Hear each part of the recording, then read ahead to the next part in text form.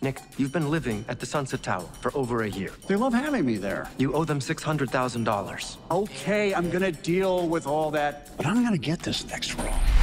And when I do, all of that changes. Then I'm back. Not that you went anywhere. Nicolas Cage, oh my God, I love you. he was so good in The Rock. What about Gone in 60 Seconds? Have you seen Croods too? No, I'm 44 years old. Why the fuck would I see Croods 2? I've seen Face Off and Con Air. We got another offer. What's it about? You head to southern Spain and you attend a wealthy gentleman's birthday party. I would never do that. It's a million bucks, Nick. I'll take it.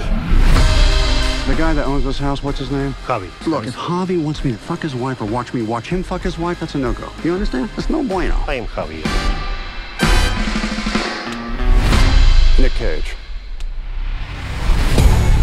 Nicolas Cage? That's fucking cool. I am so happy that you're here. Is this supposed to be me? It's grotesque. I'll give you 20,000 for it.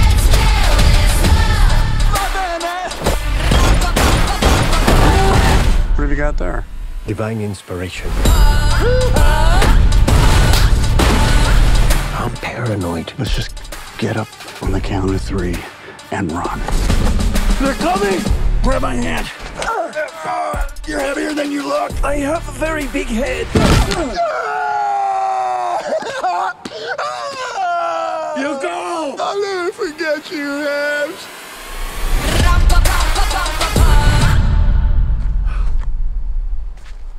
Mr. Cage? It turns out we could have just walked around. Wow, yes, so.